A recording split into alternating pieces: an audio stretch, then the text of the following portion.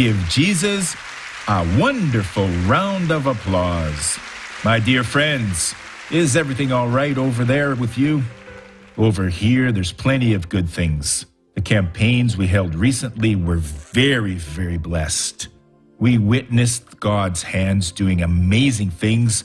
It was very, very beautiful indeed. It was very blessed. I've been preaching an important word from God's kingdom, and I'm thrilled with this word because we are not in a kingdom of food and drink. We're in a kingdom of power of the Holy Spirit. It's where the Lord operates. He has to do it and he wants to do it. Jesus was quite clear when he said, For I have given you an example that you should do as I have done to you. He went through all Galilee, preaching in their synagogues and healing all kinds of diseases and infirmities. We can't deviate under no circumstance at all from the focus that he gives us so that we do not stumble. Israel changed. When Israel entered the land of the promise in the time of the judges, they decided, amazingly enough, to seek the gods of Ammonites, the Moabites, the Sidonians, the Egyptians, brethren. They found poverty and suffering. It's in the book of Judges.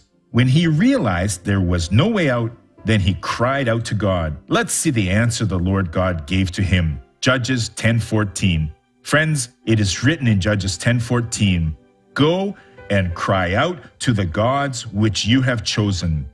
Let them deliver you in your time of distress. This is happening today. People come to the Lord's house, they start to prosper, but guess what they choose? The so called gods of prosperity, Mammon. Others chose Minerva, goddess of culture and wisdom. Others chose Eros of prostitution, of erotic things. Unfortunately, they're in God's house but serving other gods. Then all of the other ordeals they come along. And they'll call on God. God says, okay, see if they can deliver you. See if the money can deliver anyone when, when thing when it gets hard. Even the even the best doctor, he will say, there's nothing else that I can do. But God can deliver you. Let's do the opposite. Let's serve God who has delivered us from the kingdom of darkness and conveyed us to his kingdom, because in his kingdom we do have power to solve all of our problems. Let me give you a testimony. 30 years ago, I was going I was going down a steep a steep terrain and I felt a stabbing pain in this muscle. When I was a boy, I was a shoemaker and I used an iron bar. Shoemaker used it and put it here. I hit the damp sole until it got dry and stiff so that it would last so that it would last longer. It was done in the past. I don't know if they still do it. Well, I felt the pain right here. It was very very painful. I have an aunt who who's still alive. She she was a professional masseuse. She's very old now. When I told her she said, "That's easy. Go see the doctor. He'll operate on you. It'll be just fine." I said, Are you kidding me? There's no way I'll do it. I exercise a lot. Sometimes we feel some pain and I pray. The other day I, I, was jogging along, last week actually. I was jogging as usual, but praising the Lord. But then I was thinking about God's kingdom. I said, God, I'm in your kingdom, and what now? I rebuke it. I was jogging, was jogging, ordered it to leave my thigh, and the pain never returned. I cast it out. Brethren, nevermore. It was gone on the spot. We are in the kingdom of success. I told this story a few days ago. Some people had never heard about it, and glory to God for that. We have that word that Jesus said the remedy against evil is to watch, is to watch and pray. It can be found in the in in the book of Matthew 26, 41. Watch and pray, lest you enter into temptation. The spirit indeed is willing, but the flesh is weak. So they did not watch and entered into temptation. You must wake up on the word. The moment you wake up, God operates on you. Amen? Let's applaud Jesus. Judges 10, starting from verse number 6.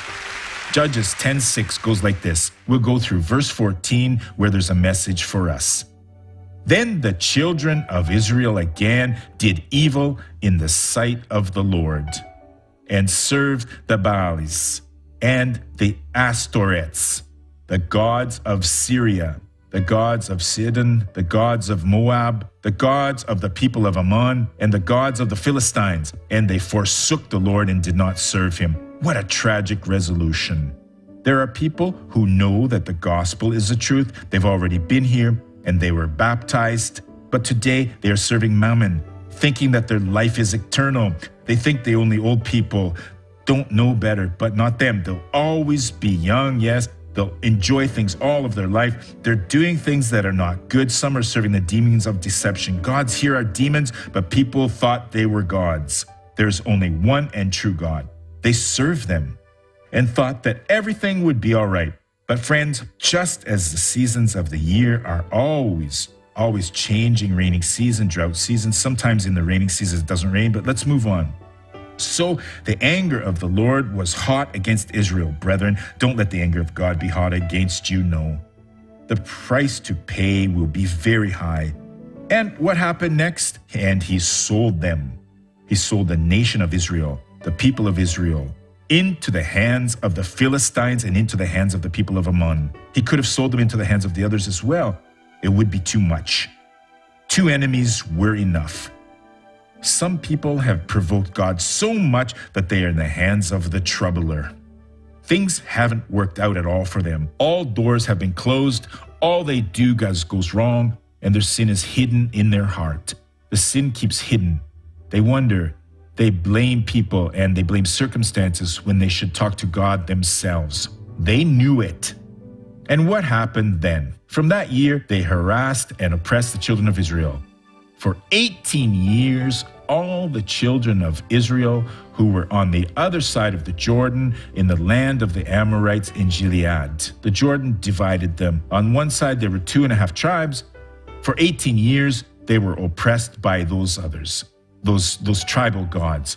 And on the other side, Moreover, the people of Ammon crossed over to Jordan to fight against Judah, also against Benjamin, and against the house of Ephraim, so that Israel was severely, severely distressed. And the children of Israel cried out to the Lord, saying, We have sinned against you, because we have both forsaken our God and served the Baals. Um, so the Lord said to the children of Israel, Did I not deliver you from the Egyptians and from the Amorites and from the people of Ammon? And from the Philistines, also the Sidonians and the Amalekites and Maonites oppressed you, and you cried, and you cried out to me, and I delivered you from their hand. When they cried out the other time, didn't God deliver them from their hand? Why did they serve their gods? Some of them might have said, Now our situation has been solved. No, go and cry out to the gods which you have chosen. Let them deliver you in your time of distress. Oh, Dr. Soares, so there was no way out. There is, brethren. Pray, watch, and pray is the solution. Why should we do it? So that we don't enter into temptation, so that we don't keep under temptation. The only way out of any crisis that has befallen upon your life is to pour out your heart to God. Pray with intent Confess all the things that you have done now. Write them down and make sure to undo all of them. Each action that you have done will not be undone unless you pray in all earnest before the Lord. There's no use in pretending to forget, to say you don't remember. You don't remember this, you don't remember that. You keep doing it and repeating it over and over again. Things are getting much worse. Watch, write them down. Analyze all that you have done. Write them down. When I was younger, I was 20 years old or so, I had a clothing store that I went bankrupt. There was no way out. So what did I do? I wrote a list of all my debtors. I put it inside the Holy Bible and prayed with all my heart. Whenever I went, the Bible was with me and with that list inside. I said, Lord God, if you help me out, I'll never borrow money from anyone again. I learned what's in Romans 13:8. Owe no one anything, for he who loves another has fulfilled the law. I took that stand. Whenever I paid someone, I crossed them out from paying after paying them. When I paid the very last one, I was ready to get married. And I did get married. In two months, I could set up the date because I didn't owe anyone anything. Whatever I earned was for my home. Take a stand before God, watch, analyze, See why you have fallen. Remember from where you have fallen, says the Holy Bible. Write it down because your sin is standing. In our law, certain crimes that can't be prosecuted after some time, but not in the spiritual world, no. It may have happened 60 years ago. It still stands before the Lord. Why did it happen? Because you gave ear to the devil. So you must confess your sins. So God said, Go after your gods now. I didn't I deliver you a long time ago? From this and this and from that one? Of course I can deliver you. But since you chose other gods, go seek those gods now. But they didn't accept that. The word says, Watch, watch, watch, and pray. The word is the word is eternal. What but what did they do? And the children of Israel said to the Lord, We have sinned. Do to us whatever seems to be best for you. Only deliver us this day, we pray then. What did God do for them? God gave them the capacity uh, to repent. Repentance is a process. Some things are done in a minute, or they're done in a year or more. While you keep on hiding your sins, you have the Lord's wrath upon you. So confess immediately, spill it all out, confess just about everything, get rid of it, then you will have then you will have the love of God. Don't trifle with the Lord God. So they put away the foreign gods from among them and served the Lord. They started to serve God, and his soul could no longer endure the misery of Israel. There's no other word to describe it. And there's no other word to describe those who are under under punishment due to an error. They are in misery. They stumble every day. They are hurt every day. And if they don't rise up the way they're supposed to, they will keep on suffering. It goes on to say, Then the people of Ammon gathered together and they encamped in Gilead. And the children of Israel assembled together and encamped in Mizpah. There would be a battle.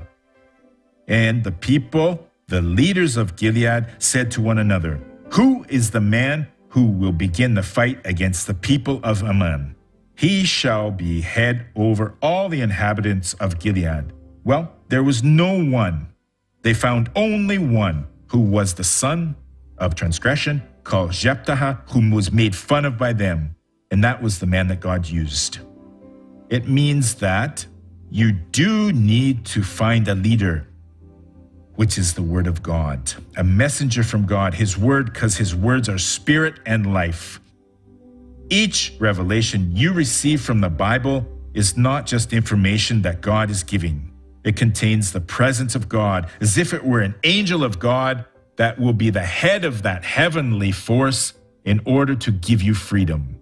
And you have to pay attention because there'll be more things within the Bible that you'll understand over the process of deliverance. Is there deliverance for the fallen? Yes. But you have to follow the biblical ritual. Those things in the Old Testament are examples of the things that happen today. They are symbols. Just like they had to find someone who had been who had been conceived out of the wedlock. That man was ridiculed but God rose that man, and he is rising you up and has a promise for you. A promise that he has prepared so as he can be your deliverer.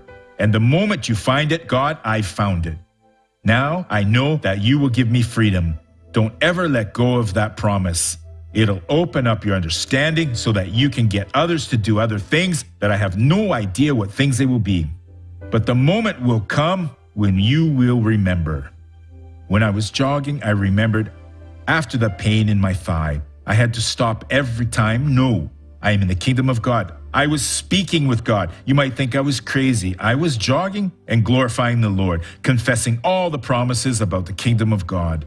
I know I'm a man of God. I know you put me in your kingdom. I know I have power over evil. In the name of Jesus, now I ordered it to leave and kept on jogging, and it went away in the name of Jesus. Uh, yes, dear brethren. Oftentimes, as I was listening to an evangelical song in the car while driving, I was tapping along but stopped and followed the rhythm on the other thigh because it would hurt, but not anymore in the name of Jesus. They found Jephthah, and you will find your deliverer too, and God is willing. And God is willing. He may have a sullen look. He may cause you to cry out to God because you really need it. You have forsaken the Lord, but God will give you a chance. Let me pray. God, thank you so much for your word, your living word, your powerful word, your uplifting word, my God. Why can't you do right now, Father? These men who are bankrupt, this person who turned his back on you and even said certain things, God, so that the devil wanted him to say so that he could have an influence on him. Now, God, the same authority that I had on the day when I was jogging, I have it with me right now. And in the name of the Lord Jesus, I paralyze all of the deeds of the enemy in the life of these people. And I say, devil, it's time for you to beat a retreat, to wither away. I'm not kindly asking you, I'm giving an order. And I say these things in the name of the Lord Jesus. I paralyze all your actions and I command now, let go of these people, go away now. Don't oppress them. I'm not asking, I'm giving an order. And this name I order right now leave, go away. Your hour is completely broken. All of your actions are completely undone. And I set these people free now, brethren. I'm setting you free in the name of the Lord Jesus. This oppression bottled up within your chest, in your breathing system.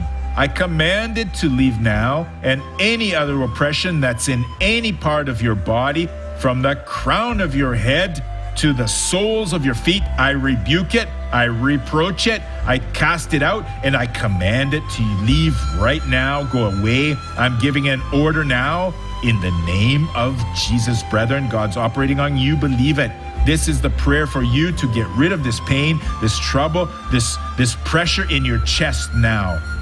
You may start taking a deep breath now and praise the Lord God because your evil is gone. Your evil has left. And in the name of Jesus, all evil is undone for the glory of God. And you say, Amen. Glory to God. Look at me now in the name of the Lord Jesus.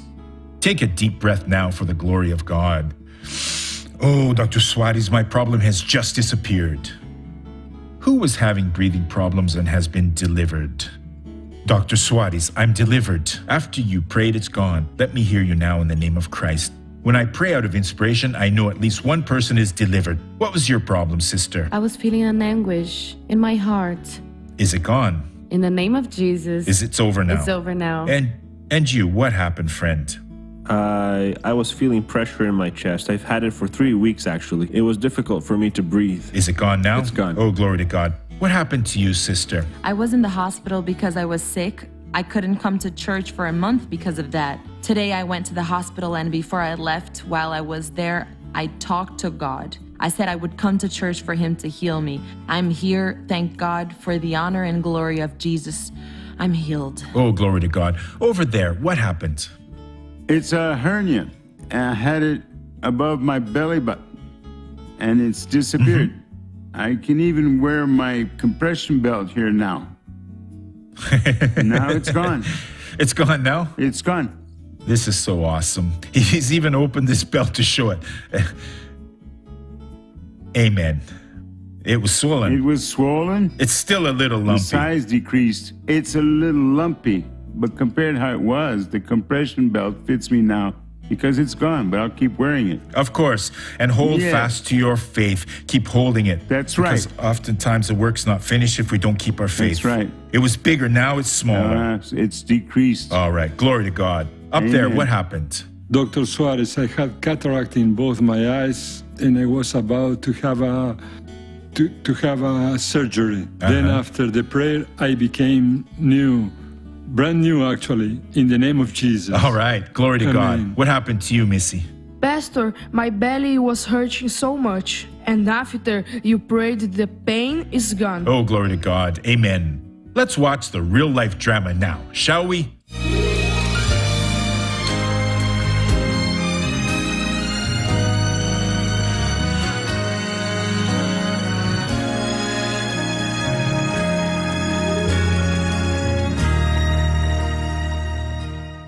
Jose took a tumble in the 70s and it injured his right hand. He fell down. He fell down and he used his hand to support his body. I could close it, but when it hurt, it did this. He likes to exercise, but he couldn't do properly because his hand would hurt. In the past, I would cling to the bar like this and move my body upwards. But then after after the fall, it would it would hurt so much that I didn't even try. How would I I lift my body of uh, around 69 kilos? I I just couldn't. I just couldn't do it.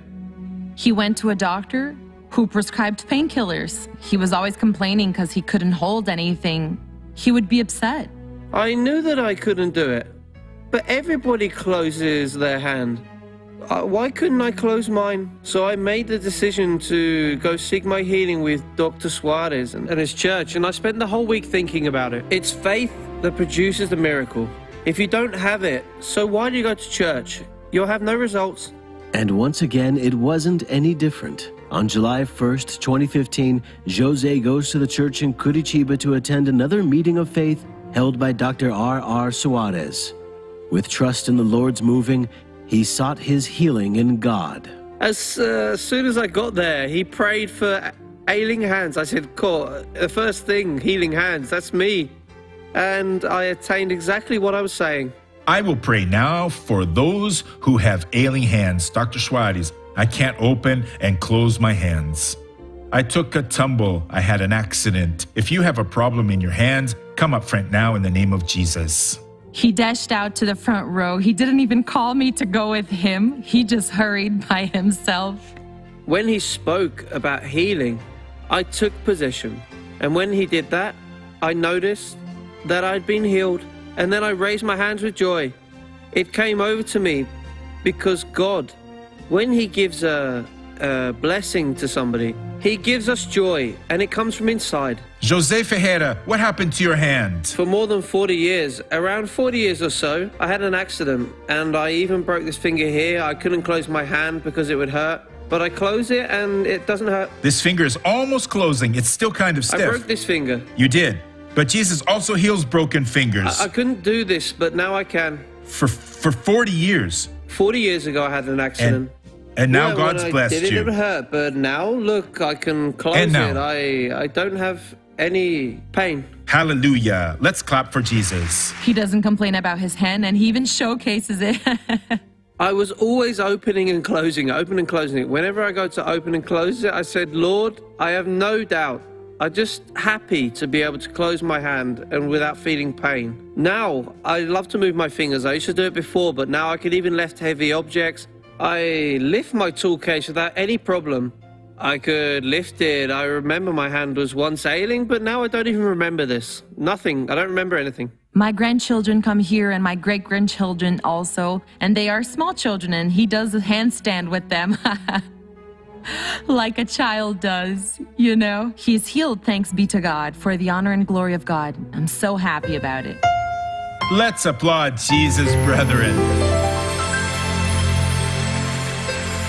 In testimonies like these, they're the word of God being applied. They serve as a lessons for us. Because if God did it for Jose, he can do it for anyone else. We never know what will happen. I never know what problem people have. But God touched my heart. I prayed, and people started to give testimonies. Without a doubt, God wants to do more. At the end of the service, we will pray, and God will bless us more. Let's go to the question segment now.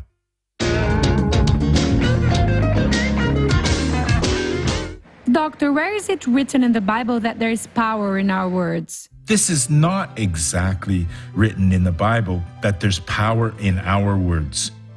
One of the verses that says something similar states, Death and life are in the power of the tongue. Then someone wrote a book uh, inspired by this verse and said, There's power in your words. I believe it was Don Gossett who wrote it.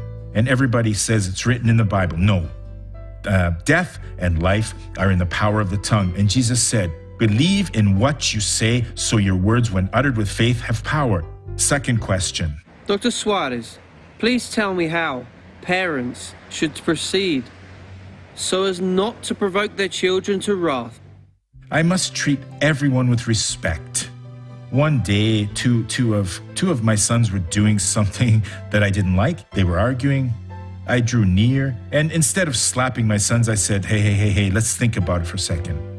We must be wise. The strength of an adult is far greater than that of a child, right? So then I said, Children, you know that the unbelievers, that they speak, spank their children violently. And you know you did something wrong, don't you? Yes, but you're my brothers in Christ. Haven't you accepted Jesus?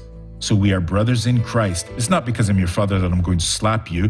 Do you promise before God that you won't do this ever again?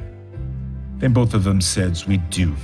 So let's pray together. Group hug now. So we hugged each other, we prayed and cried. It was better than being beaten up. It did change them. Use the word of God, it's always better. Let's go to the Open Your Heart segment now.